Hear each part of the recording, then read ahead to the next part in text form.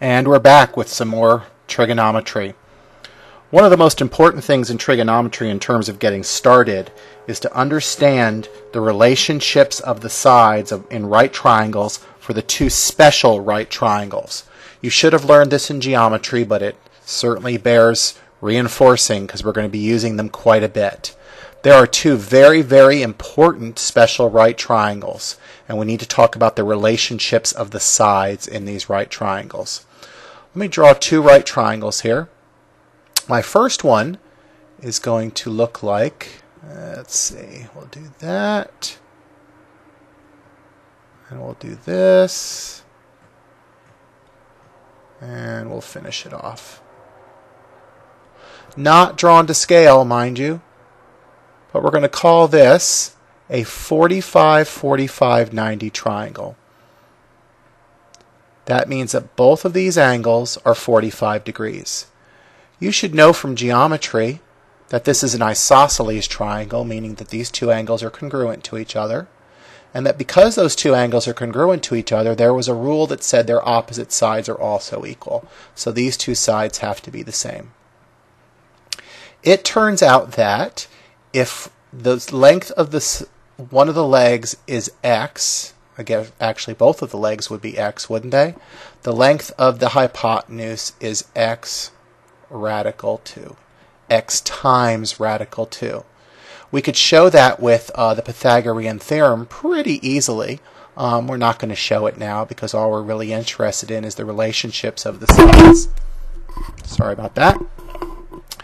Um, so, What's really important, though, is that we can draw this triangle um, with a special hypotenuse length. I'm going to redraw my 45, 45, 90 triangle.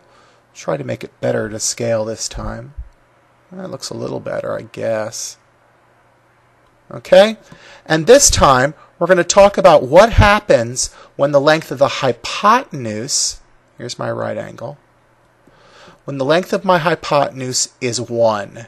This may not matter to this may not seem important to you right now, but it is actually very very important as you'll see very soon. Uh, what happens if the hypotenuse is a length of 1? What does that mean about the length of the two legs? So let's talk about it for just a second. Shouldn't take that long. It should be obvious to you, or maybe not, but let's explain it, that when you go from the length of a leg to the length of a hypotenuse, what do you do? You multiply by radical 2. You multiply by radical 2. So it's x times, perhaps I shouldn't use that symbol because that's the variable we're using. Okay? It's times radical 2. So what if I want to go the other way? If I want to go from the hypotenuse, eh, let's use a different color here go from the hypotenuse, from the hypotenuse, oh, it's messy, but that's okay. I think you'll get it, to the leg. Well, if, when going from the leg to the hypotenuse, we multiply by radical 2, then I hope you can see that to go from the hypotenuse to the leg, we divide by radical 2. So what does that mean in terms of our right triangle over here? Again, this is a 45, 45, 90 right triangle. If I want the length of one of these legs, I'm going to have to divide by radical 2. I'm going to have to take that 1 and divide it by radical 2. Now, I think you probably remember from Algebra 1 and Algebra 2 that we don't like to have radicals in denominators. We, we like to rationalize those denominators. And that meant, as you might remember, multiplying top and bottom by the radical that's in the denominator. 1 times radical 2 is radical 2. Radical 2 times radical 2 is 2. So, what we're going to say then is the length of the two legs of a 45, 45, 90 triangle that has a hypotenuse of 1 is radical 2 over 2, and both sides are the same extremely, extremely important relationship here. Okay? Now let's talk about our other important special right triangle, and that is the 30, 60, 90 triangle. So I'm going to draw that one. Let's say, here we go, there, there. We'll try to do this better in terms of scale. There we go. Pretty decent. So now I've drawn for you here a 30, 60, 90 triangle. The relationship for the sides here is, if we start with the smallest side, and you might remember from geometry there was a rule, the triangle inequality theorem, that said the shortest side of a triangle is opposite the smallest angle. Well, the smallest angle in this triangle is 30, so our shortest side is going to be this leg right here. So we're going to call that one x. Turns out that if the shortest side is x, the value x, then our hypotenuse is twice the length of that short side. And we could actually use again the Pythagorean theorem to determine what the length of my third leg is, but it turns out to be x radical 3. The uh, value or the, the measurement of the shorter leg times radical 3.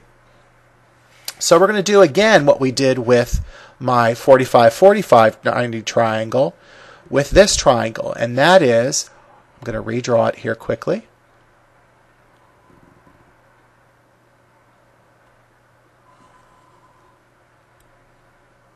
There we go. Whoops. Alright, so I've redrawn my triangle. Again, this is my 30 degree angle, and this is my 60 degree angle. And my question is going to be, what if the hypotenuse is 1? Again, this may not seem clear to you why we're doing this yet, but trust me, it will. Alright, so let's take a look at the relationships of our sides. We have said that the length of the hypotenuse is twice the length of the short leg. So I multiply by 2 to go from my leg to my hypotenuse. So if I want to go backwards from the hypotenuse to the leg, what do I have to do? I have to divide by 2. I have to cut it in half, don't I? Okay, so let's do that. So if my hypotenuse is 1, then that means the length of my shorter leg has to be half of that, or 1 half, 1 divided by 2.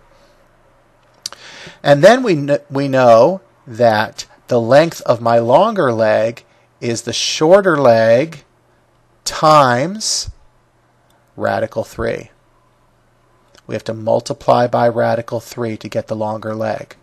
And if we do that, I hope you can see that when I multiply 1 half times radical 3, I get radical 3 over 2.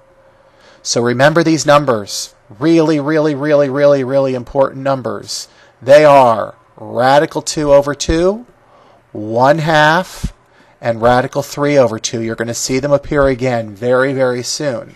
I might also point out to you that you can also turn this particular, and we're going to need to when we uh, get there, you can also turn this particular uh, triangle on its end so that we get something that looks like Make sure I draw this properly.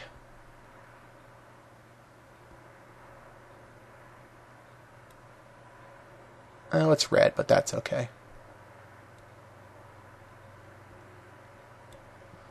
Okay, so that this is our 30 degree angle down here.